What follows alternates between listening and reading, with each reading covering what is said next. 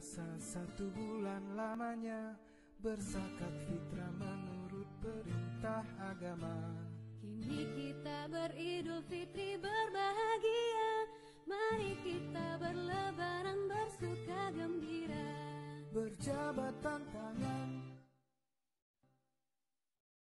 Sambil bermaaf-maafan Hilang dendam habis pada